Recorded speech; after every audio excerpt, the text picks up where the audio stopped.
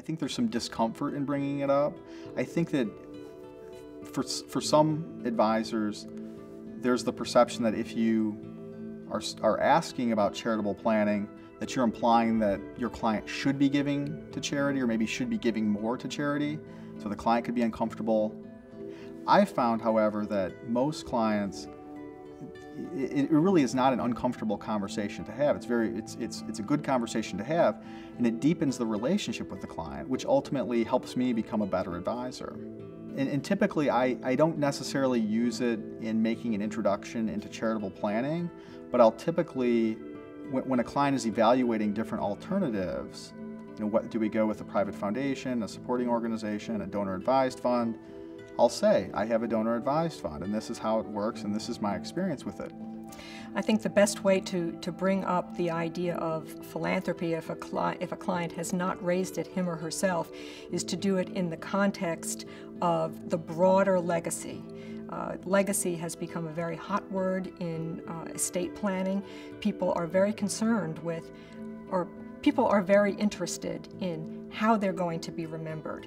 They've created wealth, they've amassed wealth, they're passing wealth on down to their children, uh, but they want to be remembered for something more than the dollars. And so the bringing up philanthropy in the context of discussing what a client's vision of their legacy is uh, can be a very non-threatening way to introduce philanthropy into the discussion. Sometimes it is a difficult question to ask a client about charitable giving. Um, I try not to ask it in a way that seems presumptuous.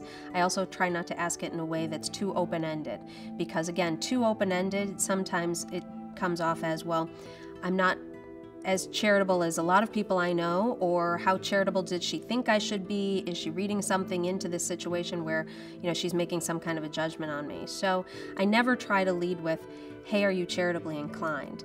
Um, Instead, I'll say, are there any causes that you're really passionate about that would maybe impact the way that we would invest this money? So that could be from excluding certain industries to supporting green initiatives, and that gets the client in a more positive way thinking about things that they want to support.